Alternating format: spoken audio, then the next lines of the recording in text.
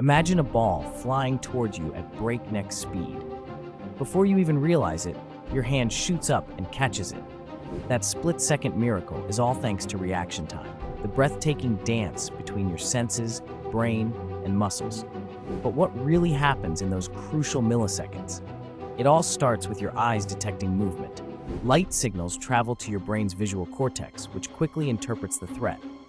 Instantly, your brain sends a signal down your spinal cord, activating the precise muscles needed to respond.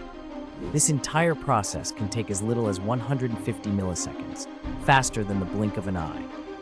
Genetics, training, and even sleep can influence how quickly you react.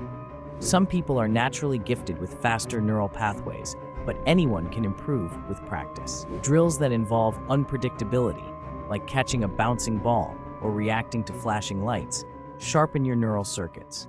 The next time you marvel at a lightning quick save, remember, it's not just physical skill, but the science of reaction time at work. Want to create short vids like this? Click link in bio.